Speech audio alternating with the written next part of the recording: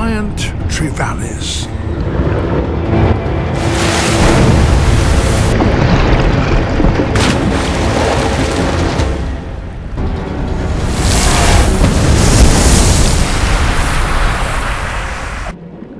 They have to up their game.